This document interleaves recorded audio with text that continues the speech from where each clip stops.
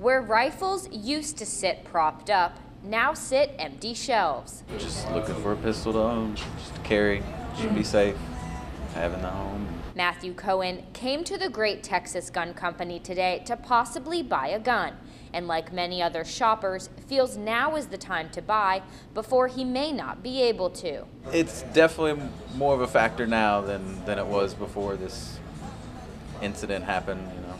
It's definitely pushed me along to get more serious about it.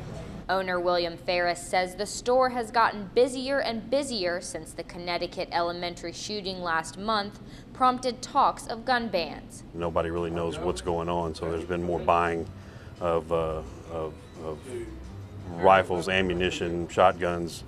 And with all those products flying off the shelves, stores can't replenish the stock fast enough. In the state of Texas, there's probably not, not ammunition or AR-15s on a shelf anywhere. And if they are, it's a rare thing. Causing prices to jump. A box of this hunting ammunition was selling for about $32 a box, but now with the increased demand, it's selling for about $40 a box, an increase of about 8%.